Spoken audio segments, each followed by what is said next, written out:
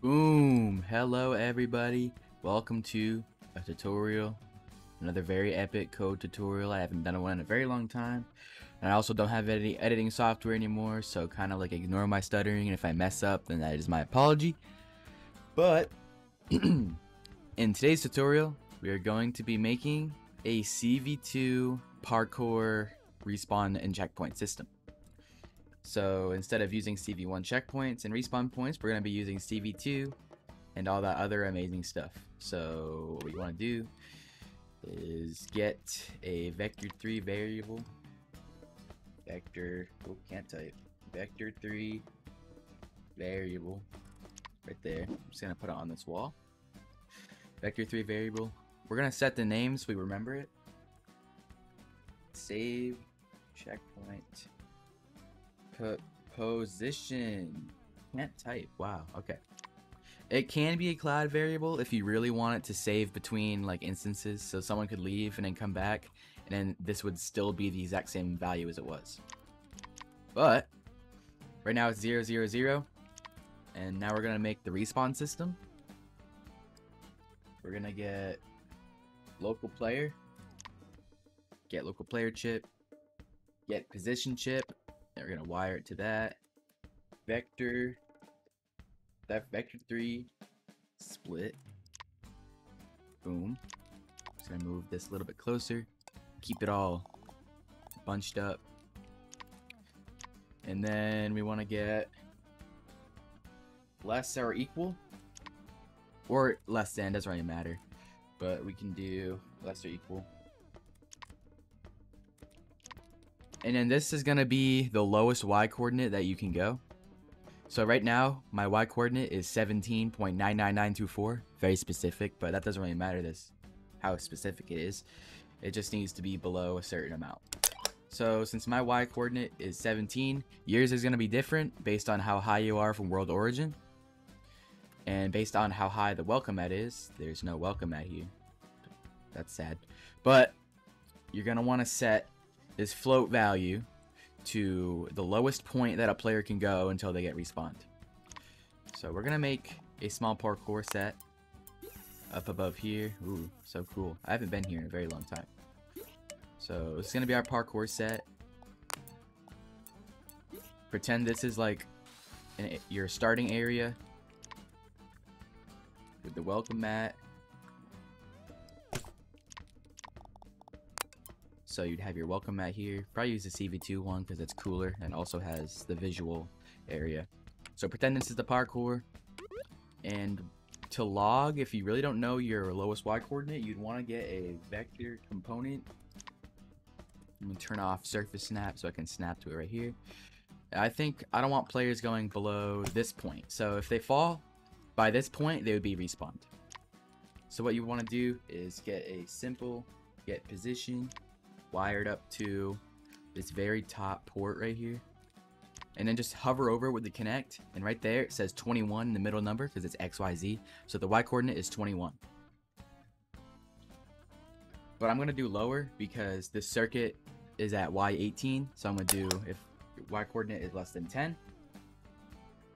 Because if you have, if you're supposed to be respawning somewhere and the respawn position is less than your lower lowest point, you will get soft locked. So you do not want to mess it up.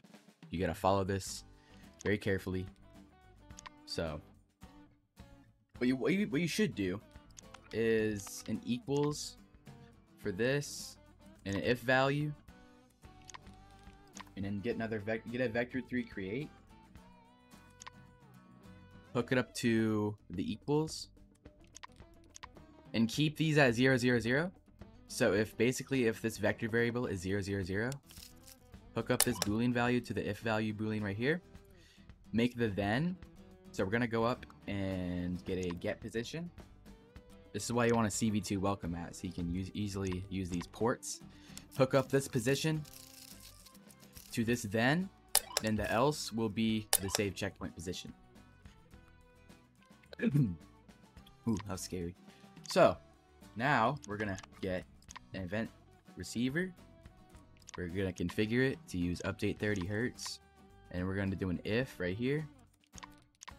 if your y coordinate is less than 10, and then do respawn,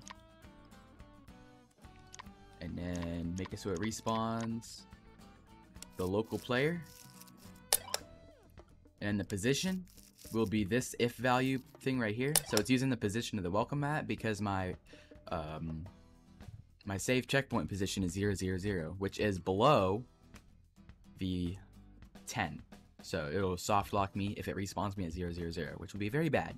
And then for the rotation, you can do local player gaze direction. So basically if I'm facing this way and I get respawned, I'll still be facing this way.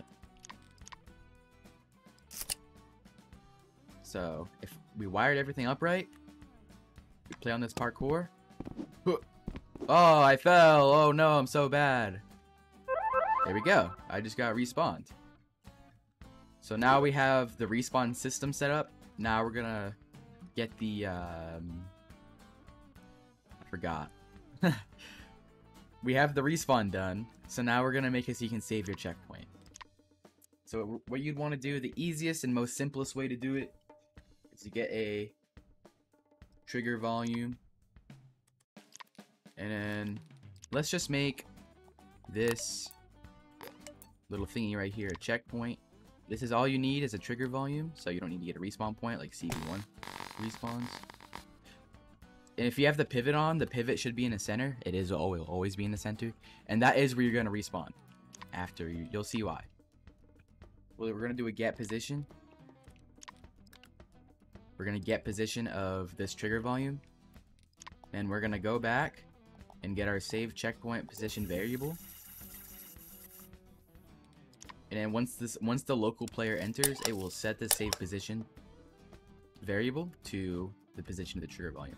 So if I go back here, and I play, I play, I set my checkpoint, and then I fall, it should respawn me if I wired everything right. Yep, the welcome mat's over here, trigger volume is right here, and that's basically how you do it. You can clone these three chips as many times as you want. You can also just whatever is in this variable, so you can use it to like set the position to whatever you want. So I can set my checkpoint.